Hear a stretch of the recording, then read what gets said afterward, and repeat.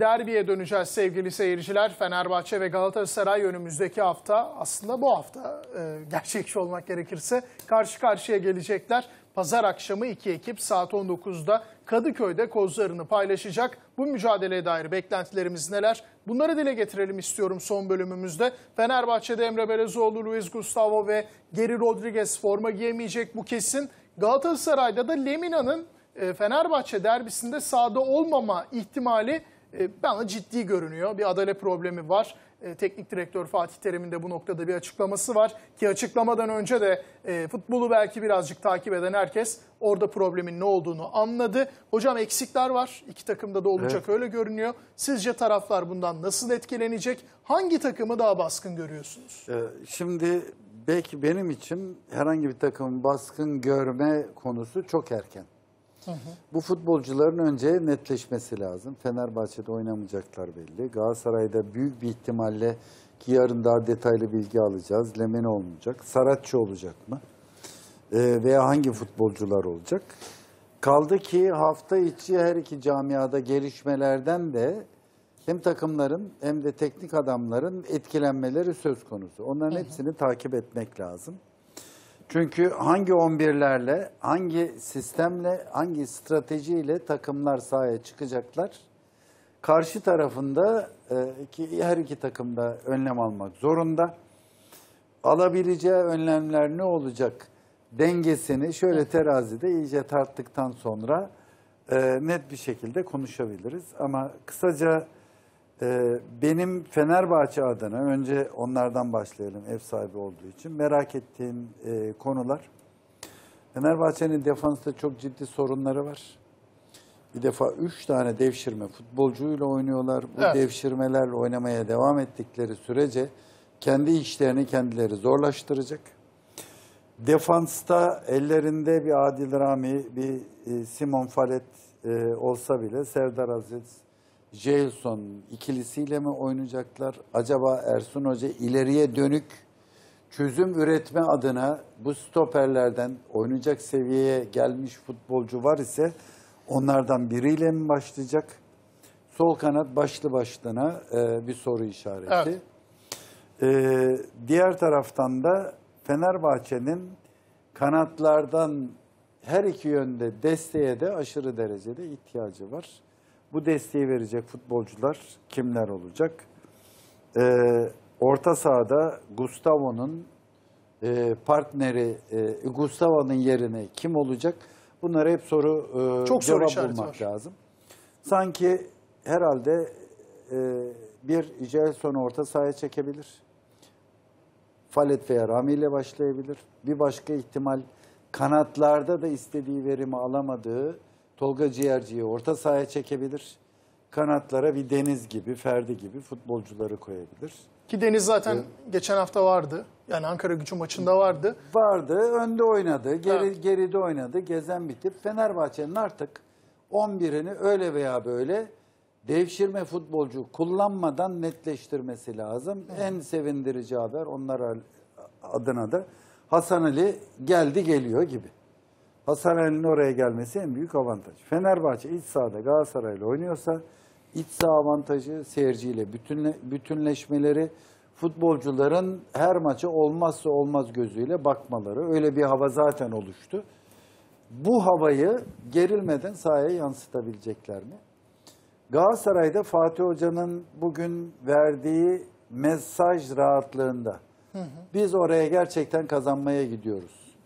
Hiç gerilmeden, futbolun keyfini, zevkini çıkaracak bir şekilde benim nasıl olsa altı maçımı kaybetmişim. Bugün ka- kazanmasam da olur rahatlığıyla oraya çıkıyorlarsa Galatasaray'ın en büyük avantajı da olur. Taner Karaman beklentin ne derbiden? Fenerbahçe'nin içeride Galatasaray'a karşı bir yenilmezlik serisi var. Bu da Sarı Lacivertlerin e, belki de bu derbide neden elinin güçlü olduğunu gösteriyor. Öte yandan Galatasaray rakibin oranla daha formda. Bu da bir gerçek. Bu tabii. Yani Galatasaray daha formda, daha rahat. Ama bu rahatlık seviyesi bir rehavet ortamı elbette yaratmayacaktır. Çünkü Fenerbahçe'ye karşı oynuyorsunuz. Ama oyuncular dakika 70 olduğu zaman 1-0 mağlup durumda 70. dakikaya giriyorsa burada oyuncular üstündeki olan stresin seviyesi Tam aksi bir durumda Fenerbahçeli oyuncuların üstündeki stresin seviyesine göre çok daha aşağıda olacak. Bu kesin. Ve Galatasaray 6 maçta aldığı 18 puanın verdiği bir motivasyonla da sahada olacaklar. Fenerbahçe takımında ise son 3 maçta kaybedilmiş 8 puanın verdiği dezavantaj. Evet. Aksi motivasyonun verdiği dezavantajla sahada olacak Fenerbahçeli oyuncular. Hocama katılıyorum. Bu kadar fazla devşirme oyuncu grubuna sahip olmanın dezavantajları var. Nedir bu? Çok fazla bireysel hata. Yani Jayson'un sezon başından bu tarafa yaptığı bireysel hata sayısını takım halinde yapan herhalde başka ekip yok bu ligde. Ve Fenerbahçe halen daha buna bir çözüm bulabilmiş değil. Şimdi Mehmet Topal bir dönem stoperde oynadığı zaman isyan etmişti. Stoperde oynamak istemiyorum diye. Ve isyan etmesinin sebebi de bireysel hata yapıyor ve gol yemiyor, yemiyor yemesinden kaynaklanıyordu Fenerbahçe'nin. Oyuncu en sonunda fatura kendisine patladığını görünce ben istemiyorum stoper oynamak demişti. Kameranın önünde çıkıp da basın toplantısında. Jason hani biraz kendince hani görev yerim vesaire ama olmuyor. Ve siz hatada ısrar ediyorsunuz. Üstelik bu kadar fazla stoper alternatifiniz varsa, varken ha dersiniz hazır değil, yeterli değil. O zaman niye aldınız derler. Fenerbahçe kadrosunda tamam yokluk vesaire fal- falet transferi gerçekleşti. Bir şekilde az bütçelerle vesaire yapıldı. Adil Rami transferini gerçekleştiriyorsunuz. Yani Adil Rami dediğimiz oyuncu da az uz paralara gelen bir oyuncu değil. Yani bu pozisyonlara koyabileceğiniz oyuncuların Fenerbahçe kadrosunda direkt oynayabilecek kapasitede olması lazım. Sizin başka mevkilerden oyuncuları devşirmemeniz gerekiyor. Şimdi oyun oyun şimdi oyun gerçekleşiyor. Bakıyorsunuz sağ bek Dirar, sol bekte oynuyor. Ön merkez orta sahada oynaması gereken Jason stoperde oynuyor. Deniz Türüc'e bakıyorsunuz başka pozisyonda oynuyor. Herkes farklı yerlerde. İşte bu kadar farklı yerlerde oynarsa oyuncu grubu bu sizin bireysel hata sayınızı arttırır, oyun ezberinizi düşürür ve kadro planlamanızda problem çekmenizi sağlar. Erman Hoca diyor ya bir saatte kuruldu Ankara gücü kadrosu diyor. Gerçekten de kısa süre içerisinde 15 tane transfer yaptı Ankara gücü. Kadroda bugün oynayan yani iki gün önce oynayan bu kadro Ankara gücü kadrosundaki bir- birçok oyuncu ömrü hayatta birbirini görmemiş adamlar. Adamlar gitti. Dinamo Kiev'den bu sezon Şampiyonlar Ligi'de oynamış olan Gelson Rodriguez'i sadece uçak parası bileti uçak bileti karşılığında transfer etti. Kiraladı. Başka bir masrafı yok bu arada Rodriguez'in Ankara gücüne. Evet. Tek masrafı uçak bileti. Siz ne yaptınız? Geri Rodriguez'i getirdiniz. Milyonlarca euro verip. Yok bir şey değil ya 4,5 milyon euro ya. 4,5 milyon euro verip siz geri Rodriguez'i getiriyorsunuz. Ankara gücü Gelson Rodriguez'i getiriyor. Şampiyonlar Ligi'nde oynamış Dinamo Kiev'in adamı. Bakın Dinamo Kiev'in bu sezon UEFA Avrupa Ligi'nde ve Şampiyonlar Ligi'nde süre almış adamını uçak bileti karşılığında transfer ediyorsunuz. Hani diyorlar ya hani parası yok Fenerbahçe'nin, bütçesi yok. O yüzden Falet geldi mesela stopere. Örnek veriyorum. Adam uçak bileti karşısında Rodriguez'i getiriyor orta sahasına koyuyor. Gelson Rodriguez'i. Yani parasızlık bahane değil Türk dünya futbolunda. Getiriyorsun Costa Rica liginden bir adamı. Gerekiyorsa buluyor sana oynatıyorsun. Oynuyor. Güncele İşi, dönecek bit- olursak. işi bitirebilmek. Bu güncel. Güncelden bahsediyorum. İşi bitirebilmek önemli. Ve Ankara gücü bu işi yaptığı için de Yeni Malatya Sporu yine Rodriguez'de yendi. Geldi Fenerbahçe'yi de yine yendi.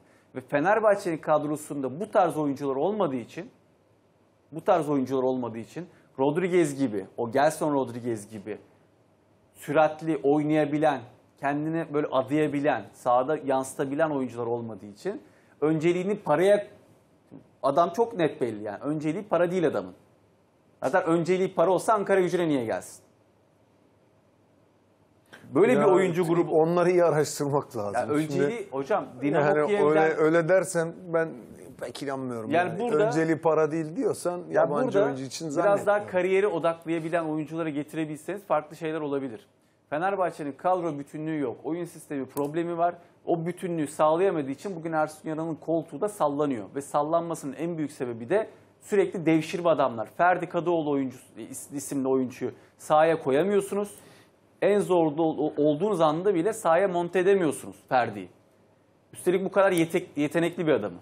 Ve oyuna her girdiğinde oyuna bir enerji katan bir adamı, çocuğu oyuna koyamıyorsunuz bir türlü. Bunu yapamadığınız zaman problemler silsilesi ortaya çıkıyor. Ve bu sadece bir örnek. Ve devşirmelerle yürüyorsunuz ısrarlı bir şekilde. Ender Alkan son yıllarda aslında iki takımın Kadıköy'de oynadığı maçlara baktığımız zaman Fenerbahçe kaybetmiyor. O bir gerçek ama ondan önceki senelere baktığımızda kazanma açısından da zorlanıyor. Son 4 maçta Kadıköy'de oynanan son 4 maçta bir Fenerbahçe galibiyeti, 3 beraberlik var. E, bunun aslında sebeplerinden biri de bu müsabakaların birçoğunda Fenerbahçe'nin mutlaka kazanalım gibi bir zorunluluğu yoktu. Bu sefer var. Bu Fenerbahçe'yi nasıl etkileyecek? Yani bir kere yani bu puan kaybıyla birlikte eğer puan kaybı olursa Fenerbahçe tarafında yani şampiyonluktan bence havlu atmış olur. Yani şampiyonluk artık hayal olur. Ki hocanın da e, koltuğu zaten sallanıyor. Puan kaybıyla birlikte Ersin Hoca ile de artık belki hemen olur, belki sezon sonu artık ayrılık kesinleşir. Tabii iki takımın da artıları var, eksileri var. Şimdi Galatasaray takımına bakarsak 6'da 6 yapmış. İkinci devre 5'te 5 yapmış bir Galatasaray. Ya tabii ki de işte Falcao belki son 10 dakika oynadı ama hazır olmayan bir Falcao var. Andone daha yeni sakatlıktan çıktı. Sarecci'nin durumu belli değil. Mesela o da geldi katkı veriyordu ama oynayıp oynamayacağı o da net değil. Maç formu nedir ona bakmak lazım. Aynı şekilde Lemina ikinci devrenin en iyi oyuncusu. Onun da sahada olup olmayacağı bence Galatasaray orta sahasını ve takımın oyununu etkileyecektir. Sizce olur mu? Ne gözlemlediniz bugün? Ya tabii maçın sonlarında olan bir şey. Ya bu bu tip siyahi oyuncu tam orta şey oyuncular ya böyle, böyle melez oyuncu mu deriz. Bu tip oyuncuları benim gördüğüm söyleyeyim çabuk iyileşiyorlar.